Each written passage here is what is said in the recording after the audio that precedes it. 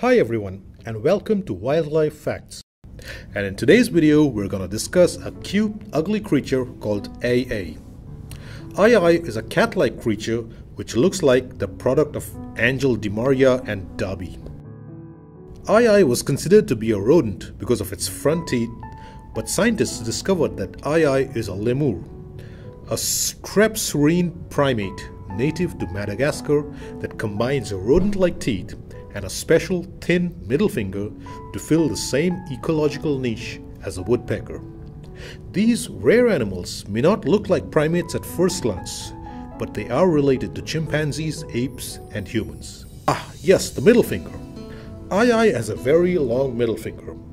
While perched aloft, the Ai taps on trees with its long middle finger and listens for wood-boring insect larvae moving under the bark.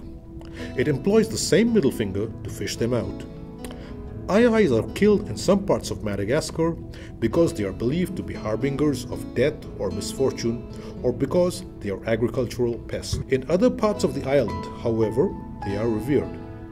For a long time, there was a superstition that if an Ai points his middle finger at you, you need to kill it.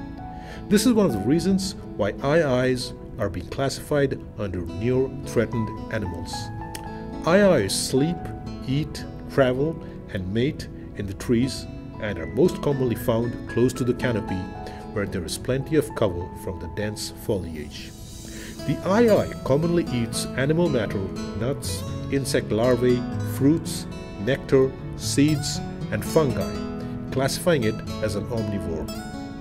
Like many other prosimians, the female Ai is dominant to the male and often challenge each other for mates. Male Ai's are very assertive in this way and sometimes even pull other males away from a female during mating.